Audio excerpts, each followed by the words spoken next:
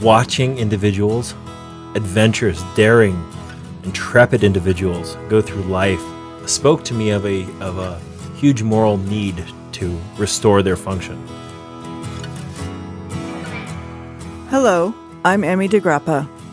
Each week, we bring you stories asking our guests the question why. We learn about their passion, why they do what they do, why should we care, and what can we learn. What better place to explore the human landscape than from the state known for its incredible landscapes, Wyoming? And what better organization than Wyoming Humanities? Serving our state for over 45 years, we share stories, ideas, and wisdom about the human experience. This is What's Your Why?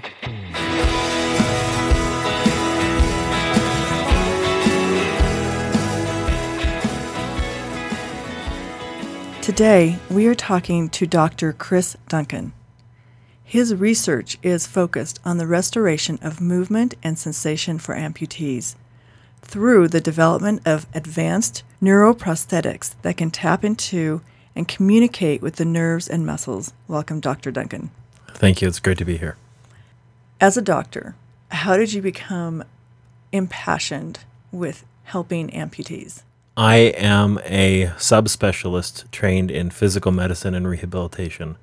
It's a type of medicine that deals with people who have more or less incurable diseases. Amputation is unfortunately one of those because we cannot regrow limbs and will not for our lifetimes, most likely.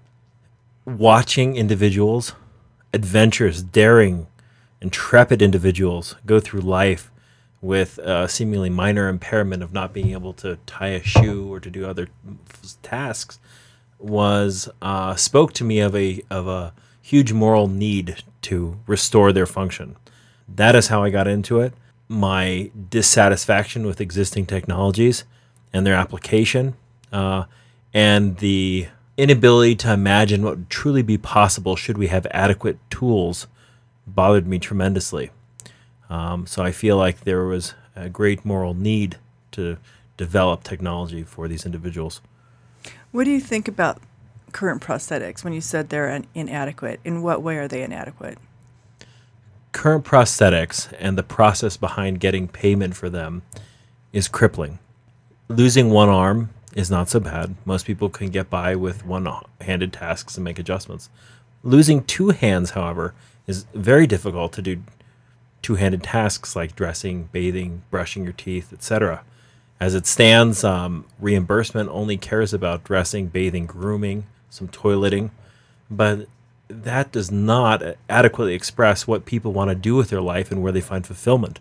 To that end, then, I think we have to restore hand function, right? There's nothing short of hand function. So a hook is not great. I have a patient that likes to change her daughter's diapers. She's missing both arms. It's very challenging with a hook uh, for both parties. The inability to sense where skin is soft and where the diaper begins is impossible. So it's all done visually. Um, it's like it's like trying to do that with a, a set of chopsticks, more or less. In new robotic hands move each have motors to move each finger individually, but there is no control strategy to move them in a way where our hands move naturally and flexibly right? So spontaneously we could make an A-OK sign or a fist or pick up a set of keys, right? Effortlessly. That's what we intend to do. We try to create effortless, uh, intuitive movement algorithms through computers interpreting electrical signals of the arm and nerve. And so, what is the new technology that changes that? What what do you have to make happen inside somebody's body for them to have sensations? There's a, a synergy of different technologies. One is the ability to implant electrodes, which listen to minute electrical changes in the muscle and in the nerve, to be able to divine what what um, a person was intending, and then we correlate a training performance with with actual electrical signals, and then people are able to move in a naturalistic pattern.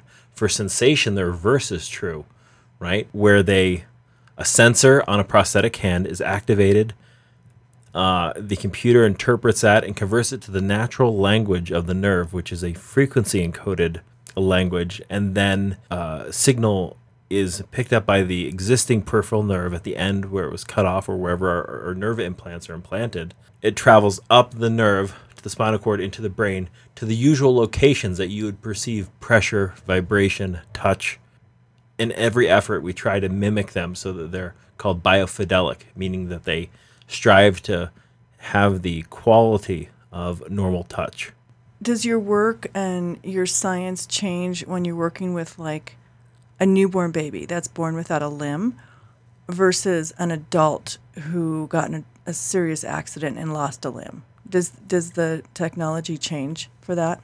Absolutely, right? We have not worked with children that young. We have worked with freshmen freshmen in college is our youngest that we've worked with who are missing both arms. And what's remarkable about that is it is that in 15 minutes time they're able to control a hand and a wrist and fingers even never having controlled eh, the concept of a hand in their mind, right? Their arms end above their elbows.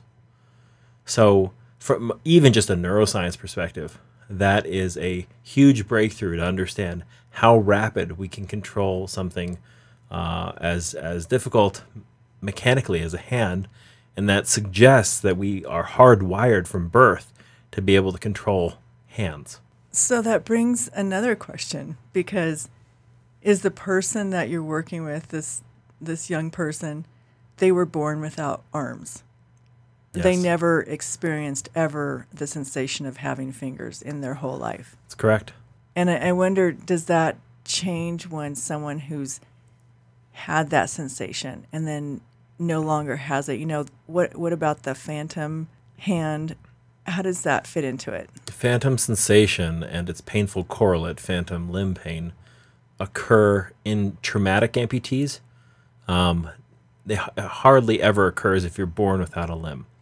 We envision, though, for those born without limbs to be able to, much like in the deaf community, where cochlear implants are, are fairly controversial early on because of their cultural implications. We don't think that there's a, a cultural of uh, is a similar culture to contend with. We would like to enable children at a young age to have a wireless interface reading their nerves and their muscles to be able to extend their body in novel ways, not just the prosthetic hands, but to all kinds of user interfaces, which may include computers, automotive applications, and many other ways. So you just see this being as groundbreaking. Are there un- other people throughout the country doing this research? There are there are a number of institutions in the, in the United States. Uh, we are probably one of one of three at this level. I think everybody's hope is to remove the limitations that that fate has uh, unfairly bestowed upon these children or upon individuals that happen to have a traumatic accident. It's in some measure trying to level the playing field. So that's why you call it um, a moral obligation. I believe so. And as a doctor, is there kind of a controversy about what doctors feel as being um, a moral obligation or not? Do you feel that there's like maybe some coldness? Maybe there's it, this is your passion, but maybe not all people feel that way, or maybe not, not all people in the medical field feel that way. the bar for good enough changes and it's a cultural manifestation of our thoughts hopes and beliefs culturally right and i can't help but notice right in in popular science fiction culture right the prevalence of prosthetic arms and the merge of mind and machine right i think that speaks to our interest in restoring broken bodies to the best state possible financial constraints will forever remain a problem, right? Um, as alluded to by the six million dollar man and Steve Austin. Six million dollar is a good ballpark Really? for the latest cutting edge research that at uh, multiple levels, but that's a digression. But actually, it's not a digression because then then what you're saying is that though this technology is out there and this research is being done, who can afford it? Ah. So William Gibson, a sci-fi writer, writes, "The future is already here," and I may be misquoting, but the future is already here. It's just unequally distributed, and unfortunately, we have to decide how much equity we want to be able to parse out in terms of opportunity and cost. Individuals that we restore to full function should be able to return to work should be able to lead productive lives unencumbered by, say, uh, you know, being born due to a birth defect from a pill, a medication, or a birth trauma. I think that's an ideal world and one that I, I strive to make. Right, but your research must cost millions of dollars. Who who funds that research? So I am a small part of a collaborative team at the University of Utah. There is a, an accomplished surgeon, Doug Hutchinson, uh, an orthopedist and specializes in hand surgery that does most of the implants. The primary investigator is Greg uh, Clark, uh, a renowned um, scientist, and a, we have a horde of graduate students and postdocs that assist us with um, these breakthroughs. So I, I don't want to claim undue credit, but it's a collaborative approach. It's necessarily that that way because it's complex and because we interface with humans. The grants come from the Department of Defense, uh, from DARPA, um, who has been an exceptional collaborator to work with from a funding perspective because of their interest on bringing this to market in a realistic way. Um, National Science Foundation, uh, as well as some other smaller private grants. This this is a vision worth having. Our military sees that for a plethora of good reasons. Absolutely, and I, and I think that when you bring it to market, maybe that will help make it affordable to people. The the affordability will come. First generation devices will be necessarily expensive, but one of the the uh, different healthcare spheres are able to provide for patients at a different level. I have the opportunity to work at the Salt Lake City Veterans Hospital and provide prosthetic needs, prosthetic solutions for those with limb loss. And there we are not constrained by cost, but really only answer to patient need, right? Which is in keeping with the mission of the Veterans Hospital to restore those that have given so much for our country. Um, in the private sector, insurers want to know uh, that they're getting bang for their buck. Historically, upper limb prosthetics, especially if you're just missing one hand, have been less than successful with up to rates uh, with rates of up to 50% abandonment after one year because patients felt that the devices weren't helpful to them. So that seems very indicting to me and suggests that we need a whole new phase of technology that is useful to them. So for those reasons, we invite focus groups in. We spend a fair amount of time in surveys and with real people.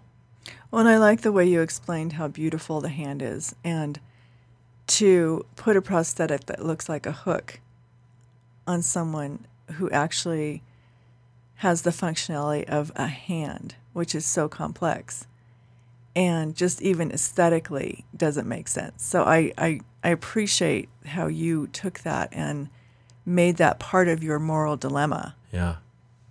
Unfortunately, payers, those that would provide payment for medical services, have adopted a strategy from the pharmaceutical industry called step therapy, where you start with a cheaper alternative and see whether or not it fails, and then only escalate in price and efficacy, which has proven detrimental because you give somebody subpar equipment and you predispose them to do not as well. An interesting anecdote is that in Europe, the hook is, is not widely used. It's considered kind of uh, an, an ugly anathema. Uh, in the United States, we have a different culture and we're more functional. Uh, so we employ it more often. It's a little bit more robust. It's reliable. Um, these newer hands, the primary complaint among all my patients is that the robotic hands break far too frequently and the return time is so long as to kind of make it not worth it. Oh, they can't wow. depend on it. Right, right. So that's another mountain you have to climb. Durability. Durability. Think of all the gloves you've gone through in your life. Think of the wear and tear on the doorknobs in your house. You've worn brass off with your bare hands. Right, right. That's a really good point. What great work. Thank you so much for being here. Oh, it's a it's a pleasure. Thank you for having me. Thank you.